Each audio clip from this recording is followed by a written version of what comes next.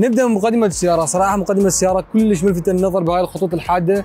هناك أكو خط كروم هذا خط كروم بادي من الاضواء لهذا الجانب لحد الجانب الثاني منتهيه هناك. أضواء LED نهارية مع إشارة LED متحركة.